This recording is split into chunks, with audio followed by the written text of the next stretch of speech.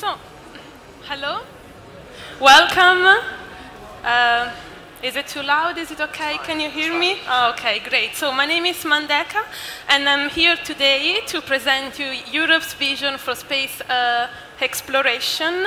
We are not only here alone, because we are also in uh, live streaming from the Le Bourget Paris uh, Air Show. And uh, basically, I'm going to introduce you the European vision for, say, for space uh, exploration with the help of David Parker. And uh, of course, we're going to have also later a panel to discuss a little bit more in details about the program. And we are lucky enough to be here to assist the ceremony for the signature of the first commercial partnership, uh, IceCube. So stay here until the end. It's only one hour, but really packed. So I would like to start just introducing you with a brief video what the program is about.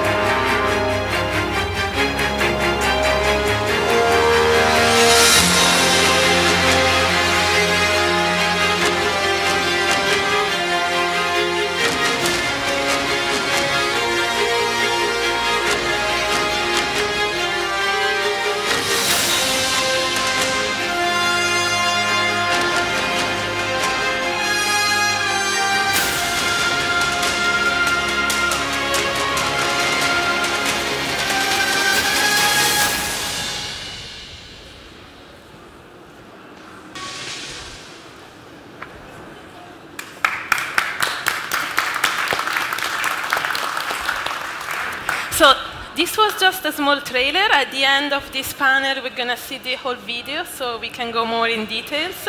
But now we're going to have David Parker, Director of Human Spaceflight and uh, Exploration. Uh, is here to go more in details and to tell us more about the uh, envelope program for, for space uh, exploration. Thank you, David. Thank you, Mandeka. Good afternoon, everyone. Uh, it's great to be here. Thank you very much for giving uh, your time to give me the chance to say a little bit more about our exploration program, um, which has been through a, a period of uh, development and change at the political level over the past few months, and now we're ready to talk about it a little bit more publicly about what the future vision is. Um, humanity's road to the stars is now being built worldwide, and we believe Europe should be part of that road outwards. Exploration is about visiting places, learning new knowledge, coming back again with the new uh, experiences that we've gained, whether it's with our robots or whether it's with our humans. And that spirit of exploration is something that belongs to Europe and that we want to rekindle for the future. I think uniquely among space activities, exploration is driven by this combination of curiosity and opportunity.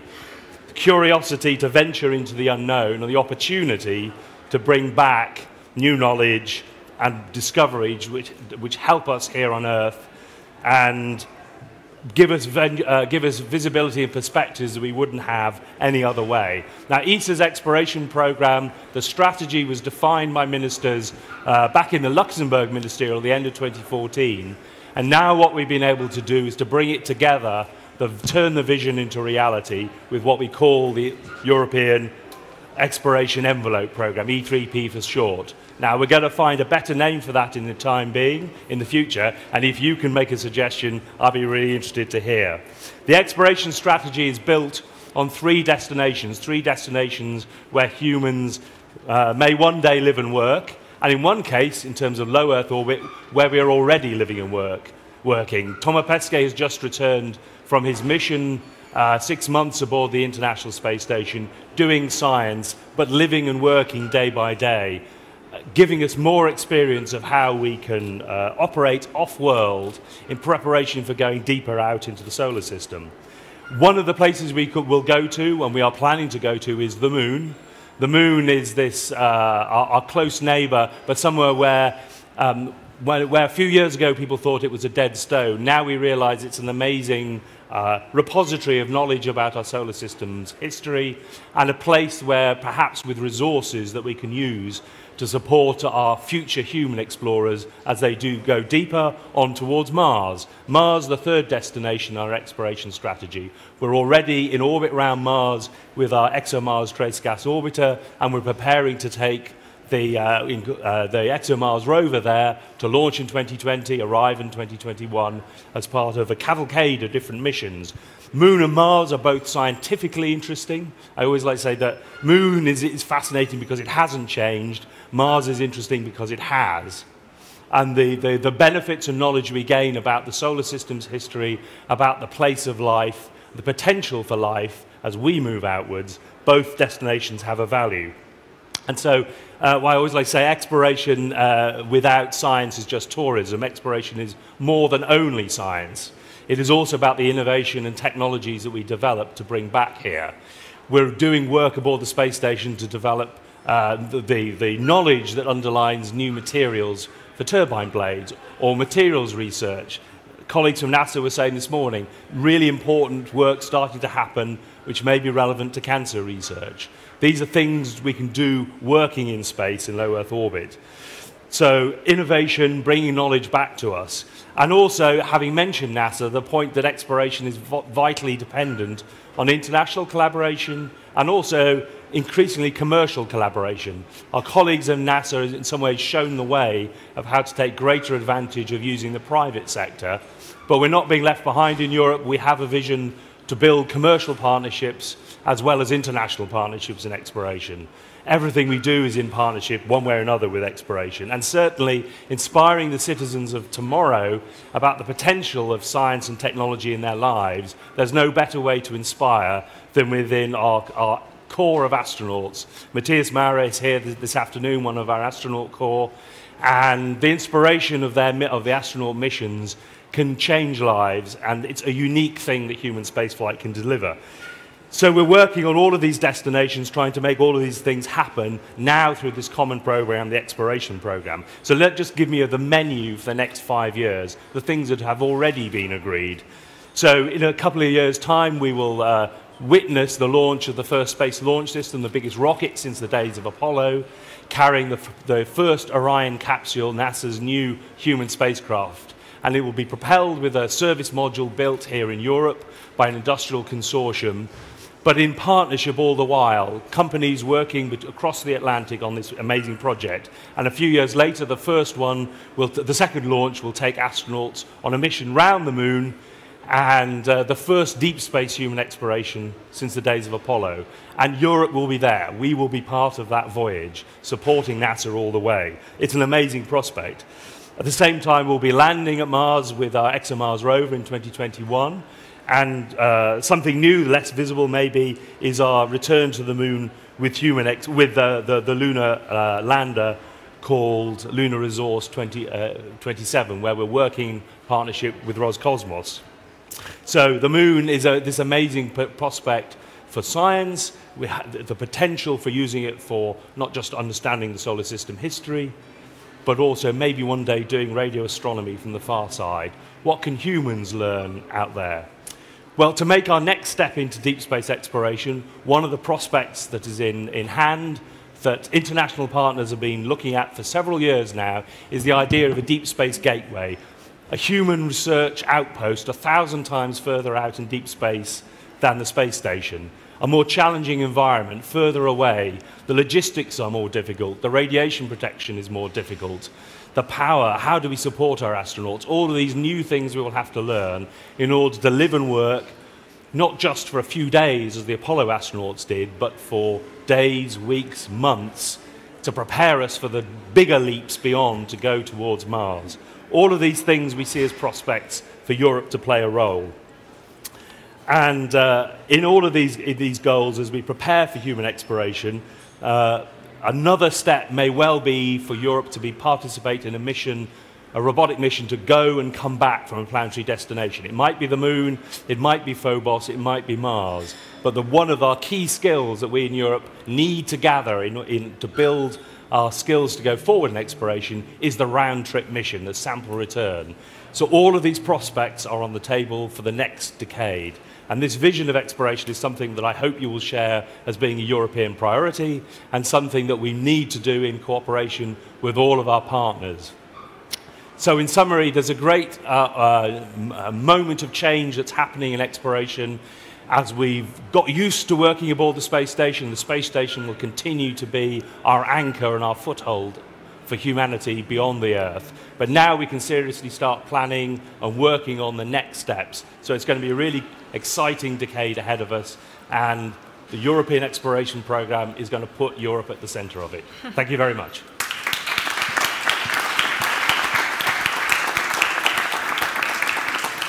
Mandeka, it's back yes, to you. Uh, I also have a question for you, but uh, what about commercial partnerships? Yeah, so in this uh, uh, set of opportunities, one of the things we want to do is to bring the private sector along. So uh, about 18 months ago, we put out a call for what we call commercial partnerships. What does, would business like to do in exploration? And we, we, were almost overwhelmed with different ideas. And the very first of those ideas to reach the point of an agreement is something called ice cubes that I've been talking about over the next two day, uh, past two days already. And uh, we're at the stage now where we want to agree this partnership and sign the deal. Now, the very important thing about this is it's an opportunity for anybody to get payloads aboard the space station much more quickly and much more flexibly than has been possible before. But in doing that, uh, effectively having your own little payload module aboard the space station, we are signing an agreement with a, an industrial organization. It happens to be a Belgian company, Space Application Services. I would like to thank them for their vision and coming forward with mm-hmm. this idea. There's no exchange of funds between ESA and the organization. ESA is providing some capabilities and services towards the uh, private contractor, and they are bringing their technology aboard the space station, and together we will offer this service. So it's a really exciting prospect, yeah. and we'll hear a bit more about it, I think. Yeah, exactly. Thank you very much. We have actually the, one of the two co-founder of Space uh, uh, Application System here today. We have it on Skype because he was not available, and he would like to say something about ice cubes. Can we please, oh, I already see here, Richard Aked. Can you hear us, Richard? Hi, Mandeka. Yes, I can hear you. Can you hear me? Yes, we can hear you. Uh, so, would you like to introduce a little bit something about Ice Cube and maybe uh, say something more in detail about this? Thank you. Sure, thank you. Um, as Mandeka said, my name is Richard Aked, Managing Director of Space Application Services. And we're very pleased that we were able to establish a strategic partnership with ESA, uh, which has been studied over the last year and the IceCube service is a result of this. And as David said, ice cubes will make it easy for anyone to send payloads to the Columbus module of the ISS. The IceCube service takes care of the testing, safety, launch, and return, as well as providing high-speed communications with Columbus, leaving customers to focus on developing and operating their payloads. The time from purchasing a ticket to launch and installation on the ISS will be less than 12 months and the first launch planned for January 2018. We expect ice cubes to be used for many purposes, uh, educational, research, industrial, and in-orbit demonstration. For space application services, ice cubes is the first step. We are intending to extend the service to provide external accommodation for payloads at ISS, as well as accommodation on a lunar rover. On behalf of Space Application Services and the IceCube team, I'd like to thank ESA for working so hard with us to establish this partnership and to have achieved this agreement. Thank you very much. Thank you very much, Richard. Um, we have here, yeah? Thank you. And thank you for waking up so early because he's actually in California at the moment. So, so thank you again. We also have here some other representative of uh, space uh, application services. We have Leif Steknikis, that is the co-founder of the company. So it's here today to uh, sign the uh, agreement with David Parker. So I think this is the right moment to do that, if you agree. So here we have uh, the two contracts, the agreements. is on one side, that space uh, application services on the other side with IceCube here. And perhaps we should show what we're talking about. Yes. We're talking about cubes uh, size payloads, 10 centimeters by 10 centimeters by 10 centimeters. But they don't have to be single, they can be multiples of them. Yeah. And uh, for an additional charge, we can bring them back again. And so that's the key thing that's different. It's not just a CubeSat, it's a payload you can send up to the space station and bring it back again. So it might have biology research, it might be an education payload, it might be a piece of technology that needs to be demonstrated in orbit. And that's what dif is different about this opportunity. So, shall we, please? so I'm going to move a little bit. We also have here uh, Michel Ilkovitz and Mauro Ricci. Michel Ilkovitz, System Department Manager of Space, of Space Application Services, and Mauro Ricci, IceCube uh, Program Manager.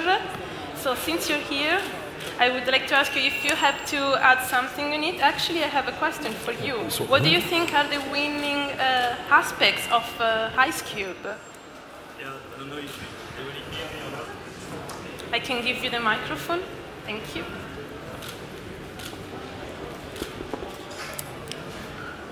It's not working. Good. Thank you. Thank you. If you can. Thank you. So, okay. Ah.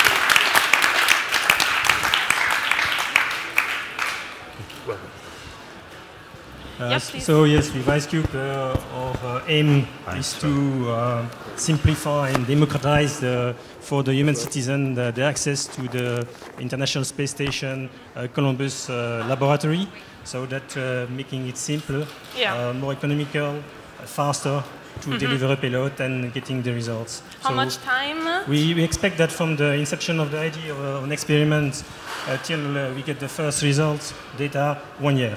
One year. That's it. It's really fast. And so typically the, the cost of uh, launching uh, one kilo, uh, 10 centimeter by centimeter in space, it's uh, 50k, so it's uh, really democratic. Okay, thank you very much.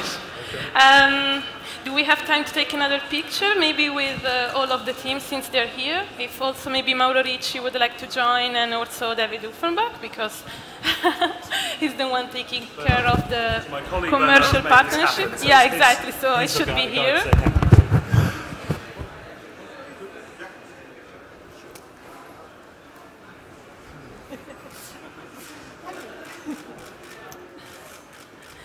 Just, just few seconds for the pictures, and now, okay, thank you very much.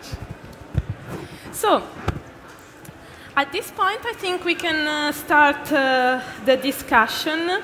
We can, uh, oh, first of all, I would like to introduce you the panelists that we have here today. We have Matthias Maurer, he's a, uh astronaut,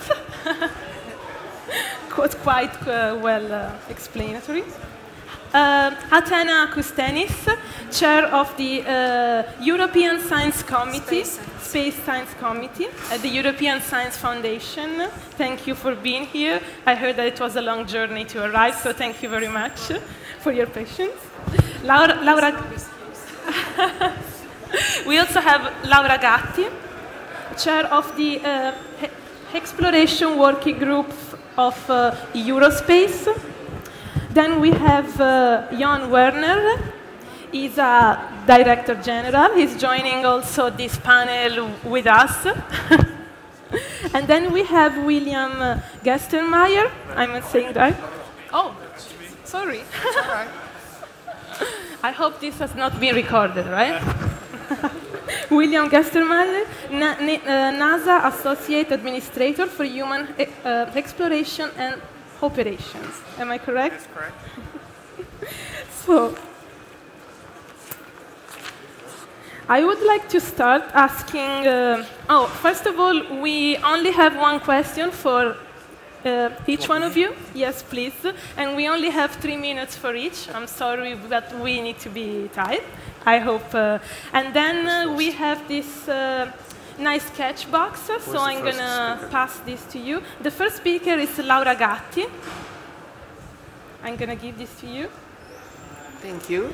And my question is for, is for you is related to uh, industry. Uh, I mean, my question is, do you welcome the opportunity to enter into commercial partnership with ESA, first of all? And second of all, how does this create new uh, opportunities for the European industry? Thank you, Mandeka. Good afternoon, ladies and gentlemen.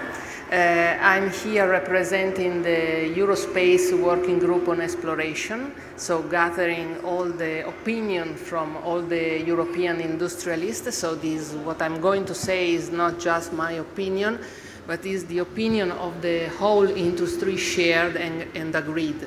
So this is why I have a piece of paper, because I do not want to forget something coming from other colleagues of, of mine.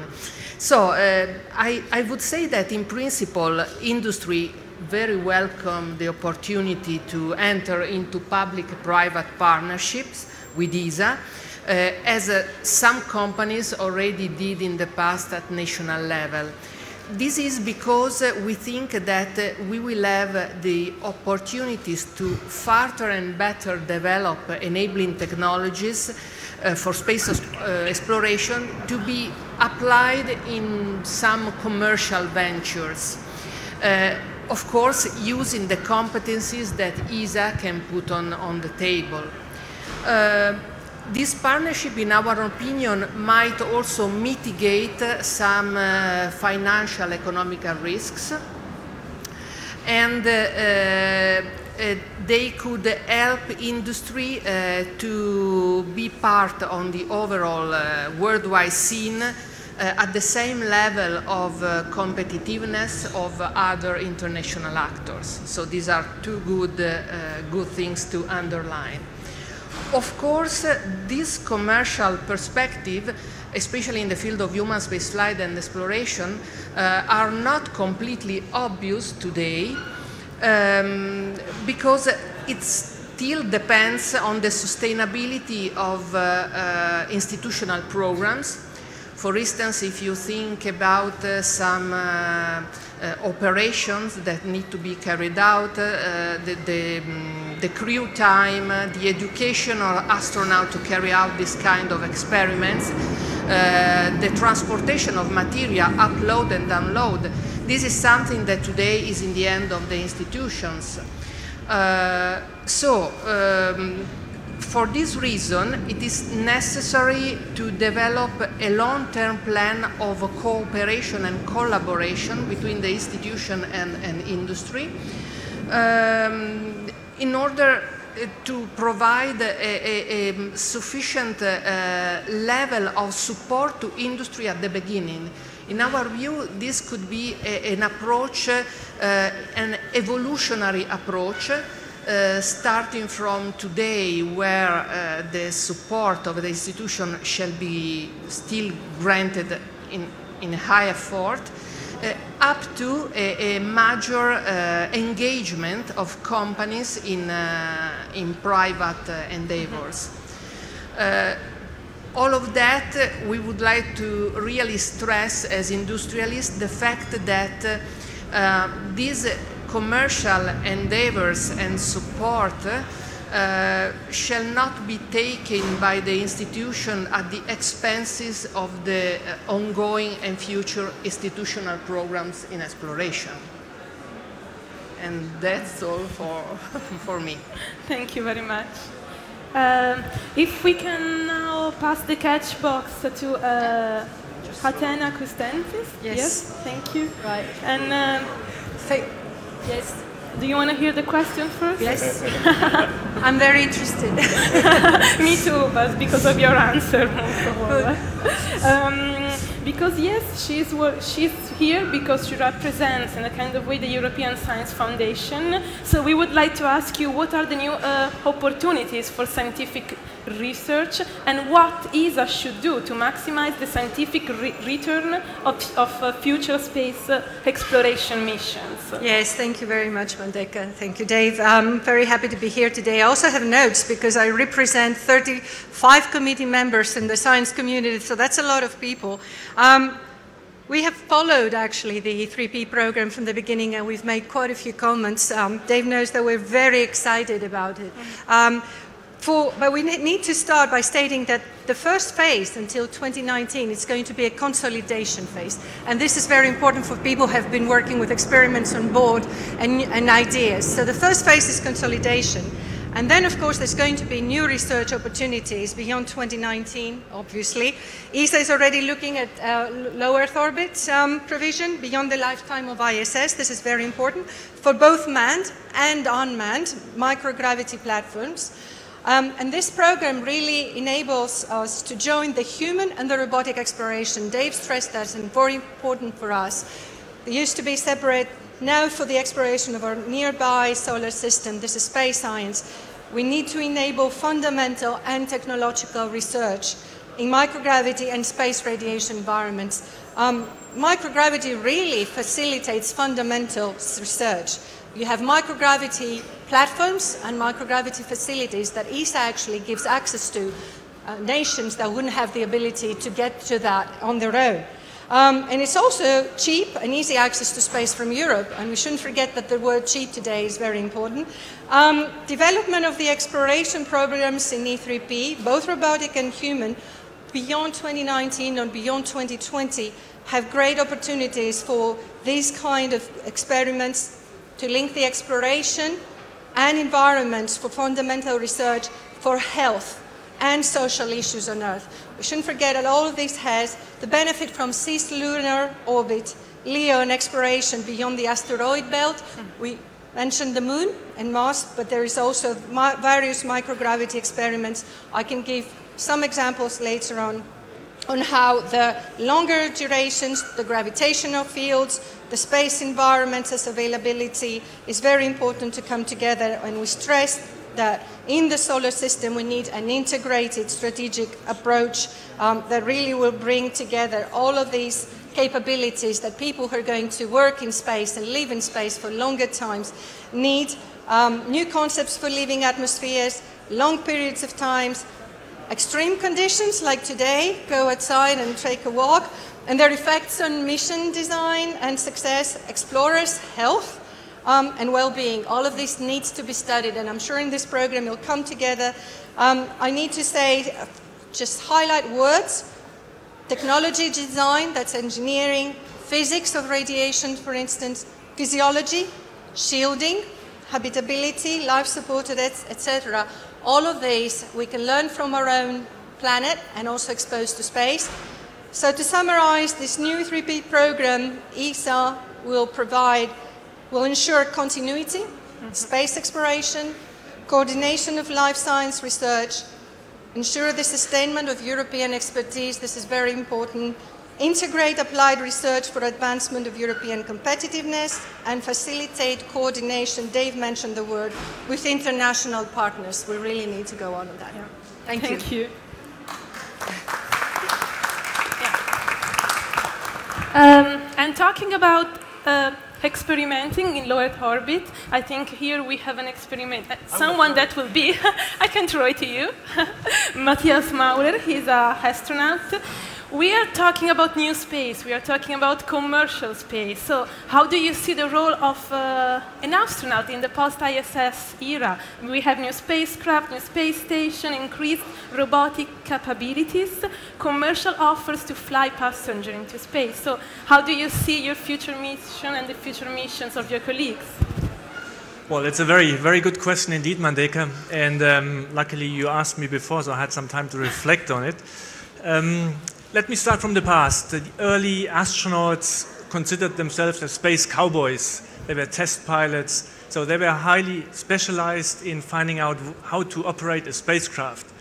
Luckily, these days, the spacecrafts are easier to fly, they are more automated, more robust.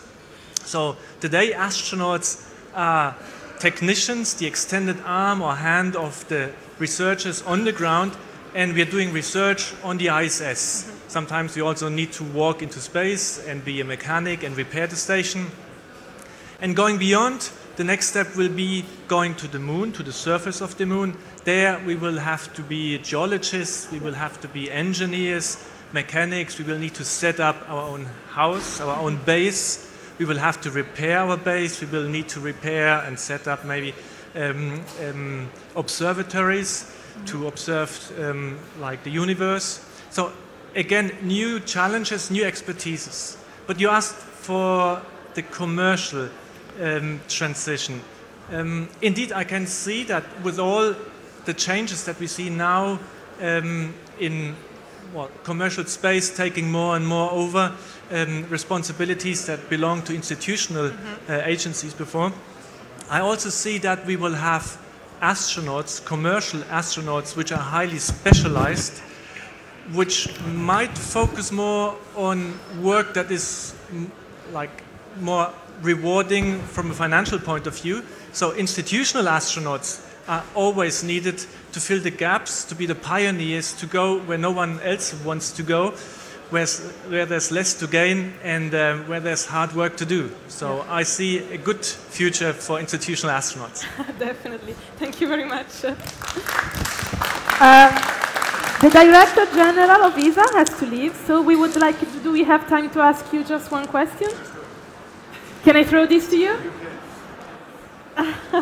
so, um, a general question but very important. How important is uh, exploration for ESA? So uh, you said a general question, of course, for the Director General. That's the best I can have because I'm always saying I'm not a, a Director Special, I'm the Director General. So you know that ESA is a uh, space agency covering all the different things. So Earth observation, telecommunication, navigation, science, but of course also exploration, launcher development. For us it's important that we have this mixture, that we are not just a specialized agency, because you know uh, space today is already infrastructure. We are using space every day for telecommunication, for navigation, and for Earth observation. It would be nice to have one day without satellites. I mean, then each and everyone would understand how important uh, space is now in our daily life. Just think about one day without uh, space. It's really, it would be a terrible day, I can tell you. But what we get, and this was uh, mentioned by uh, David, we get through, uh, through exploration, we get inspiration, we get opportunities for totally different ways we cannot do on Earth. I mean, to uh, examine the blood pressure, the salt regulation, the immune system, osteoporosis, aging, and all of this in microgravity gives the doctors, gives the researchers a totally new view and new understanding. So just immune system. If you look to immune system, which is very important for AIDS in the one direction and for organ transplantation in the other direction. So if, if you bring a, a, body into the microgravity environment, suddenly the immune system is reduced dramatically. Mm -hmm. That means something is happening to the body. And scientists always like if they can change one parameter, only one, and suddenly something happens. Then there is a chance to understand what is happening. And so just to switch off the gravity, to switch off the gravity leads to interesting results in the human bodies this is one opportunity. Yep. It's also an opportunity, as Dave was saying, when we were flying to, to Venus and to see the greenhouse effect on Venus, we came back, I mean, not really, but the information came back and we said, okay, if the greenhouse effect is on Venus, why is it maybe also on, on the Earth?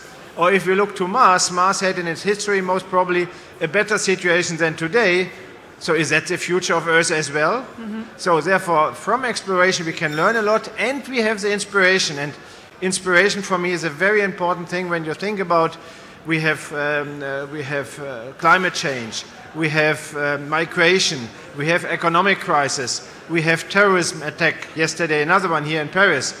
One can be frustrated and can, one can say, why, to, why the hell should I work? Why the hell should I make a study or whatever? If there is no future. And inspiration through, uh, through exploration gives you the feeling it makes sense to uh, invest into the future. So therefore, I see exploration is a must for a space agency. Uh, but the other things also we do not forget. So we put all together and we join them in a team of teams, as we say. Thank you. Can we throw this to William now? Uh, since here we have uh, a colleague from NASA, it's a good opportunity to ask you uh, what are the perspectives for, for future partnership with ESA and NASA in regarding space uh, exploration? You know, I think it's really exciting the future that we have with ESA. You know, we chose to put ESA in the critical path for the Orion spacecraft. So here we're going to move beyond the low Earth orbit, move out into cislunar space and of all the partners, all the companies, all the people we could have chose to work with, we chose based on our experience of early Skylab work and then the International Space Station that ESA was the right partner to put into critical path for us to team with to move human presence into the solar system. And that's what we're doing as a team. Yeah. So, last, last question, since we have a little bit of time, is to David Parker.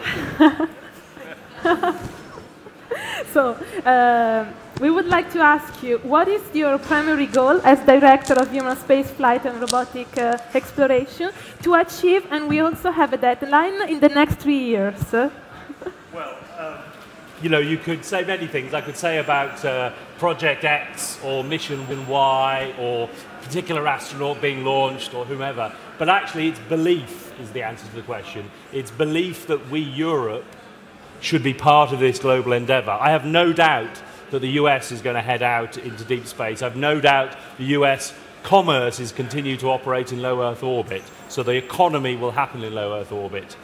And humans will go beyond low Earth orbit and we will explore with robots and discover amazing things. So the belief that, uh, and I've no doubt that China is going to do it as well, and who knows who else.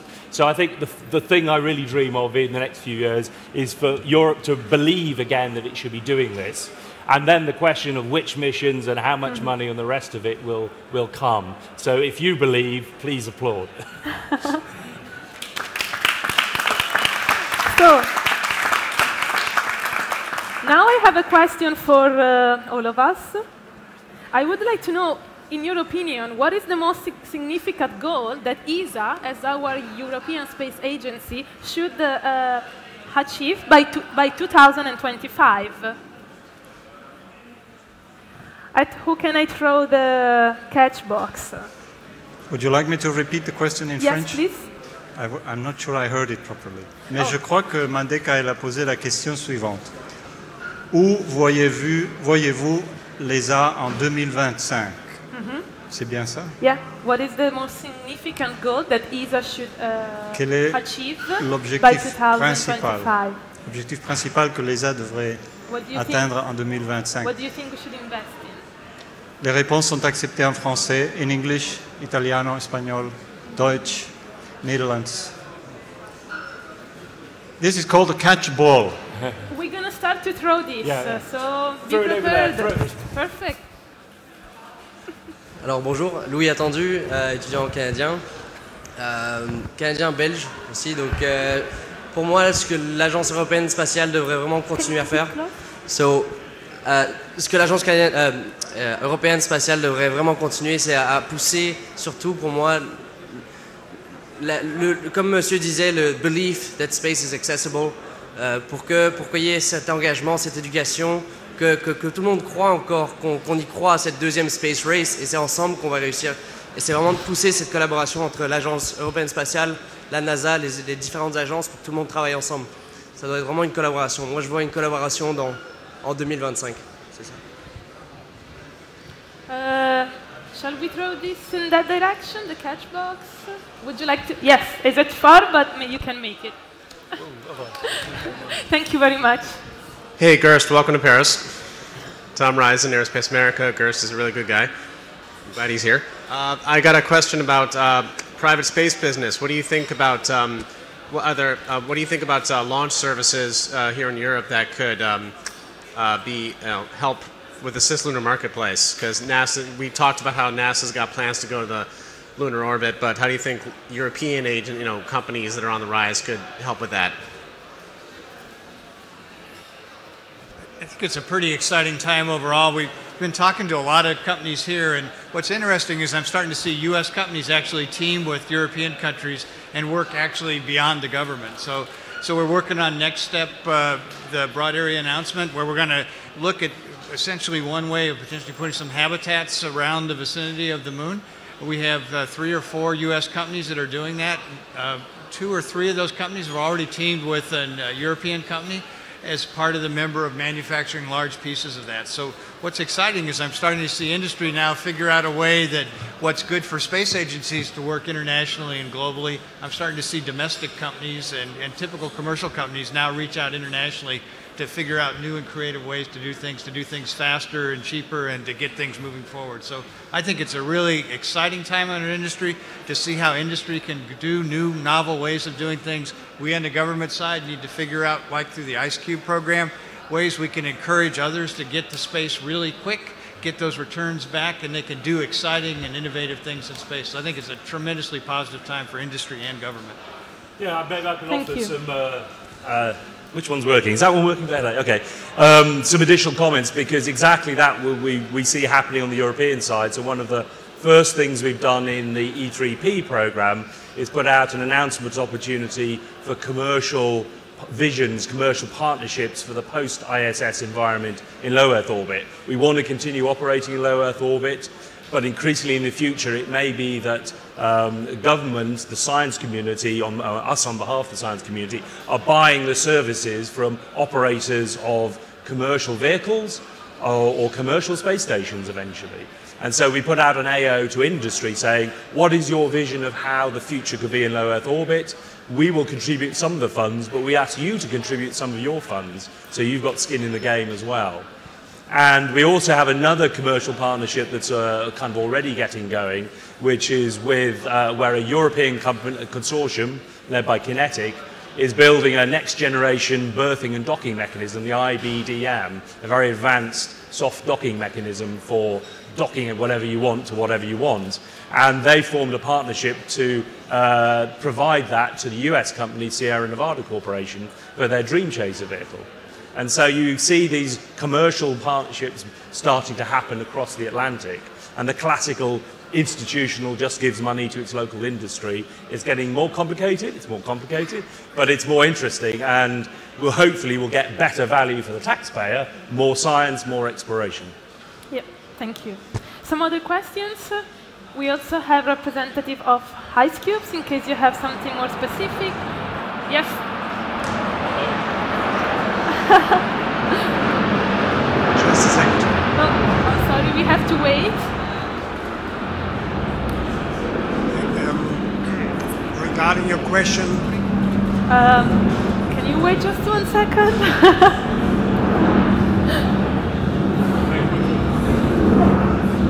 I'm sorry, we are missing this.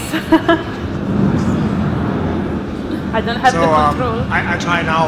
Um, regarding the question, what would like Yes. ESA uh, to achieve in 2025, uh, maybe before, um, what I would wish to have ESA uh, create a kind of common European legal umbrella for all the countries, all the institutions to really work together without limitations, without borders. Today, if we have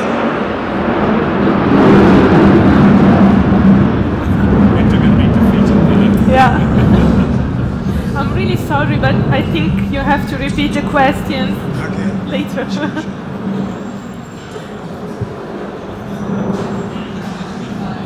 it's over? Okay. I think for now on we're gonna hear this uh, for the rest uh, of the time. So, yeah. So, thank you very much for being here. I think that this is the end of our conversation. We cannot go ahead, unfortunately. I'm sorry for your question. I'm going to play a video now uh, about the envelope program. So for, at the beginning, you have seen the, the trailer. So I hope in the next uh, eight minutes you cannot hear uh, anyway. so I'm going to show you just the video about the envelope program. So hope you uh, enjoyed this conversation and um see you soon and enjoy the video. Thank you very much.